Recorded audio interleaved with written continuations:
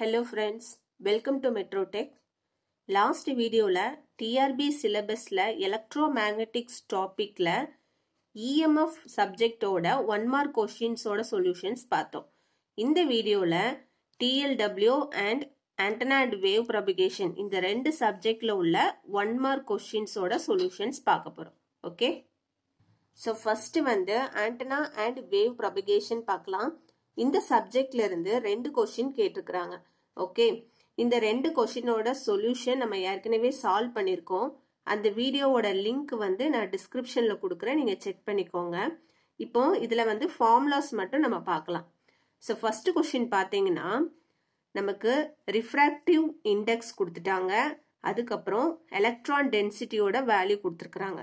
நம்ம கண்டுபிடிக்க வேண்டியது ஃப்ரீக்வன்சி ஓகே ஸோ இதை மூணையும் கனெக்ட் பண்ணுற ஃபார்முலா என்ன அப்படின்னா refractive index is equal to root of one minus eighty one N divided by F square so இந்த ஃபார்முலாவில் சப்ஸ்டியூட் பண்ணிங்கன்னா ஃப்ரீக்வன்சி வேல்யூ நம்ம கண்டுபிடிச்சிக்கலாம்.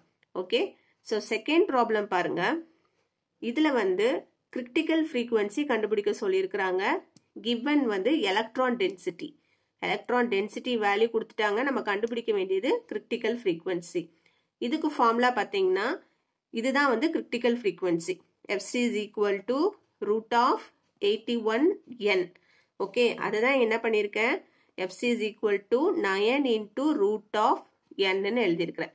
ஓகே ஸோ இதில் எலக்ட்ரான் டென்சிட்டி வேல்யூ சப்ஸ்டியூட் பண்ணீங்க அப்படின்னா நம்ம கிரிட்டிக்கல் ஃப்ரீக்வன்சியோட வேல்யூ கண்டுபிடிச்சிக்கலாம். ஓகே ஸோ நெக்ஸ்ட் பார்த்தீங்கன்னா transmission lines and wave guides இந்த சப்ஜெக்ட்லேருந்து totally four one mark questions கேட்டிருக்கிறாங்க. ஓகே ஸோ ஃபர்ஸ்ட் கொஷின் பார்க்கலாம். A lossless transmission line having characteristic impedance of hundred ohm is connected to a load of two hundred ohm the voltage reflection coefficient is so இந்த கொஷினில் வந்து characteristic impedance கொடுத்துருக்குறாங்க. That is Z naught அதோட value hundred அதுக்கப்புறமா load impedance value கொடுத்துருக்குறாங்க. That is two hundred ohm நம்ம கண்டுபிடிக்க வேண்டியது வோல்டேஜ் ரிஃப்ளெக்ஷன் கோஎஃபிஷியன் கண்டுபிடிக்க சொல்லியிருக்காங்க. ஸோ அதோட ஃபார்முலா பாருங்க. Reflection coefficient is equal to ZL minus Z naught divided by ZL plus Z naught so இந்த வேல்யூ எல்லாமே கொஸ்டினில் கொடுத்துட்டாங்க. ஸோ அதை சப்ஸ்டியூட் பண்ணிங்கன்னா ஆன்சர் கிடச்சிரும். இந்த ரிஃப்ளெக்ஷன் கோஎஃபிஷியன்ட்டோட ரேஞ்ச் எப்போது எப்படி இருக்குன்னா zero to tau less than or equal to one so reflection கோஎஃபிஷியன்ட்டோட range வந்து ஜீரோ டு ஒன் ஸோ நம்மளோட கிவன் ஆன்சர் இந்த ரேஞ்ச்குள்ளே இருக்கணும். ஓகே அதுக்கு ஜாஸ்தியாக வந்ததுன்னா நம்ம ஏதோ சம் மிஸ்டேக் பண்ணியிருக்கிறோம் அப்படிங்கிறத கண்டுபிடிச்சிக்கோங்க. ஸோ சம்டைம்ஸ் என்ன கேட்பாங்க அப்படின்னா ரிஃப்ளெக்ஷன் கோஎஃபிஷியன்ட் கொடுத்துட்டு வோல்டேஜ் ஸ்டாண்டிங் வேவ் ரேஷியோ கண்டுபிடிக்க சொல்லுவாங்க. ஓகே ஸோ அதோட ஃபார்முலா பாருங்க. VSWR is equal to One plus modulus of reflection coefficient divided by one minus modulus of reflection coefficient okay next problem in an airline adjacent maxima are found at 12.5 centimeter and 37 centimeter. The operating frequency is. So இந்த கொஷினில் வந்து adjacent maximum value கொடுத்துருக்குறாங்க. நம்ம கண்டுபிடிக்க வேண்டியது frequency கண்டுபிடிக்க சொல்லியிருக்காங்க. So ஒரு சைன் வேவ் எடுத்திருக்கிறேன். இந்த சைன் வேவில் பார்த்தீங்கன்னா இதுதான் வந்து அட்ஜசன்ட் மேக்ஸிமம் வேல்யூ ஓகே இது adjacent minimum value okay so இதோட டிஸ்டன்ஸ் எவ்வளோ இருக்குன்னு பார்த்தீங்கன்னா ஒன் வேவ் லென்த் அப்படிங்கிறது ஒன் ஃபுல் சைக்கிள் தான் வந்து ஒன் வேவ் லென்த் ஓகேவா இந்த ஒரு ஃபுல் சைக்கிள் தான் நம்ம என்னன்னு சொல்லுவோம்?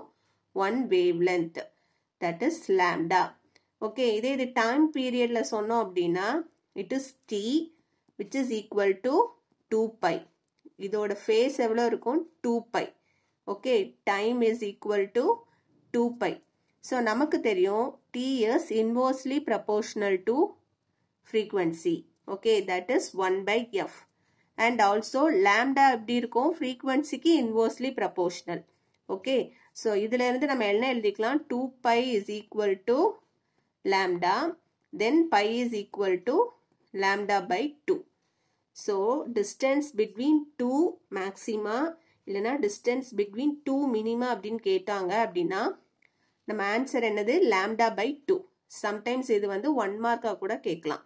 Okay the consecutive maxima and minima அப்படின்னு கேட்டாங்கன்னா என்ன எழுதணும்? Lambda by two okay so இந்த கொஷினில் வந்து இந்த வேல்யூ வந்து கொடுத்துட்டாங்க. Twelve point five centimetre and thirty seven point five centimetre okay so நம்ம என்ன ஃபைண்ட் அவுட் பண்ணியிருக்கோம் distance between adjacent maxima D is equal to lambda by two அப்படிங்கிறத ஃபர்ஸ்ட் எழுதியாச்சு.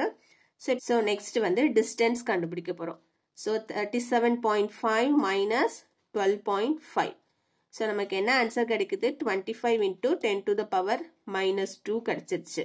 ஸோ டிஸ்டன்ஸ் கால்குலேட் பண்ணிட்டோம். ஸோ அதுலேருந்து wavelength calculate பண்ணிக்கலாம். So lambda is equal to two into the distance okay அதோட value பாருங்க. Fifty into ten to the power minus two metre கிடைக்குது. Okay so finally நமக்கு கொஷினில் என்ன கேட்டிருக்கிறாங்க? ஃப்ரீக்வன்சி கால்குலேட் பண்ணணும். ஸோ லேம்டா வேல்யூ தெரியும்.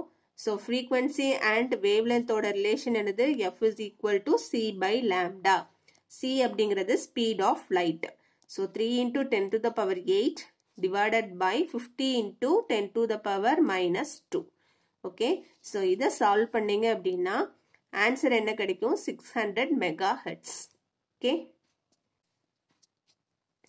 next question which of the following statements are true so இந்த ஃபோர் ஆப்ஷன்ஸில் எது வந்து ட்ரூ அப்படின்னு கேட்டிருக்கிறாங்க. So dominant மோடுனாலே it has highest wave length and lowest cut off frequency okay so இந்த statement வந்து எந்த ஆப்ஷனில் இருக்கு நம்ம செக் பண்ணி பார்க்கலாம். செகண்ட் ஆப்ஷன் பார்த்தீங்கன்னா longest cut off wavelength and higher cut off ஃப்ரீக்வன்சின்னு கொடுத்துருக்குறாங்க. ஸோ இது வந்து wrong option okay the dominant mode is the mode with the highest cut off frequency so இதுவும் wrong option okay D option பாருங்க. The dominant mode is the mode with the lowest cut off wave length இதுவும் wrong first option பாருங்க. The dominant mode is the mode with lowest cut off frequency okay so option A is the correct answer the dominant mode is the mode with lowest cut off frequency and highest cut off wavelength இதுதான் வந்து கரெக்டான answer okay so option A is the correct one next question the rectangular wave guide act as a which filter okay so ஒரு wave guide அப்படின்னாலே it's a device to transmit electromagnetic energy ஓகேவா இந்த wave guide என்ன பண்ணுன்னா certain frequency like ஒரு cut off ஃப்ரீக்வன்சிக்கு விட ஜாஸ்தியாக இருக்கிற சிக்னல்ஸ் மட்டும்தான் டிரான்ஸ்மிட் பண்ணும். அந்த கட் ஆஃப் ஃப்ரீக்வன்சிக்கு கீழே உள்ள ஃப்ரீக்வன்சி கம்மியாக இருக்கிற ஃப்ரீக்வன்சிஸ் என்ன பண்ணிடும்னா ஆல்டர்னேட் பண்ணிடும். ஓகே ஸோ அதனால் வேவ் கைட்ஸ் வந்து எப்போதுமே மைக்ரோவேவ் ஃப்ரீக்குவென்சிஸில் இருந்து தான் ஆப்ரேட் ஆகும். ஓகேவா ஸோ இந்த சிமிலர் ஆப்ரேஷன் எந்த ஃபில்டரில் நடக்கும்? ஹைபாஸ் ஃபில்டர் இல்லையா? ஹைபாஸ் ஃபில்டர்லேயும் வந்து கட் ஆஃப் ஃப்ரீக்குவென்சிக்கு அபோவ் மேலே உள்ள ஃப்ரீக்குவென்சி மட்டும் தான் டிரான்ஸ்மிட் பண்ணும். லோவர் ஃப்ரீக்குவென்சிஸை வந்து அட்டனேட் பண்ணிடும். அதே மாதிரி தான் வேவ் கைடும் ஹையர் ஃப்ரீக்குவென்சிஸை வந்து டிரான்ஸ்மிட் பண்ணும். லோவர் ஃப்ரீக்வன்சிஸை வந்து அட்டனேட் பண்ணிடும். So answer is high pass filter option B is the correct answer இந்த வீடியோவில் ஆண்டனா அண்ட் வேவ் ப்ரொபகேஷன்லேருந்து டூ கொஷின்ஸ் பார்த்தோம். And transmission lines and wave கைட்ஸில் பார்த்தீங்கன்னா ஃபோர் ஒன் மார்க் கொஷின்ஸ் பார்த்தோம். ஸோ டோட்டலி இந்த ரெண்டு சப்ஜெக்ட்லையும் சேர்த்து சிக்ஸ் ஒன் மார்க் கொஷின்ஸ் கேட்டிருந்தாங்க. ஓகே ஸோ நெக்ஸ்ட் வீடியோவில் அடுத்த சப்ஜெக்ட் பார்க்கலாம். தேங்க்யூ